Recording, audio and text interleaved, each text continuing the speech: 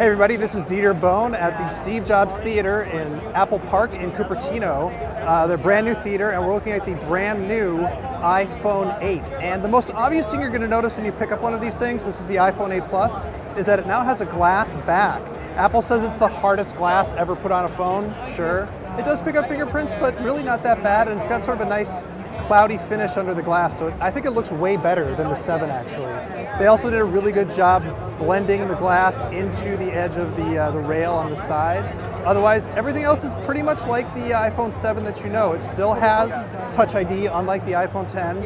It still uses that you know force touch thing, so it's not a physical button. On the back is two 12, 12 megapixel cameras, and then of course the regular iPhone 8 just has one. Uh, but on the 8 Plus, it's actually really impressive because it uses optical image stabilization, so your telephotos will be a little less shaky. And when you jump into the thing, you can go right into portrait mode, and you can choose all these different options that will automatically adjust the light. And when you point it at somebody's face, see if we can identify this guy here, it will, yeah, we gotta move closer. It will automatically set it to the stage lighting. Apple, of course, has a bunch of sample shots here. So this one's really impressive. Here's the portrait, and we can adjust. So here's what it looks like with the effects. This is the original photo. Uh, they were able to identify the face and then apply a bunch of different lighting effects to just the face, uh, which is really impressive.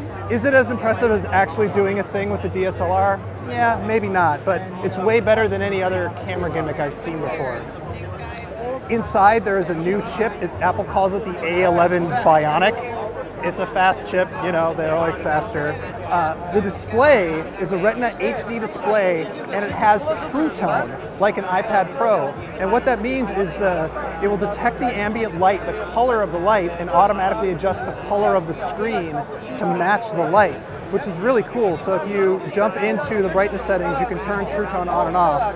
Of course, the lighting in this area is very nice and bright white, so you can't see a difference. But if it were like a yellow room, the screen would adjust so it wouldn't look so harshly blue, which is pretty cool. Another thing I'm really happy with, it has stereo speakers. This speaker at the top gets really loud alongside the speaker at the bottom, so when you're watching movies, you hear it on both sides. No, there's not a headphone jack. Life goes on. Um, but one thing I didn't mention, because it has a glass back, it supports wireless charging with the Qi standard. That's QI. If you see QI, it'll work. And you can just set it down. And Apple's promising that in the future, it's going to create an all new charging standard that'll work with many, many devices at the same time, intelligently and automatically. So here you go. This is the iPhone 8. It's going to be available on September 22nd. The regular model starts at 699 for 64 gigs, and the Plus is 100 bucks more. For much more from The Verge, please check out our YouTube channel. It's youtube.com slash The Verge.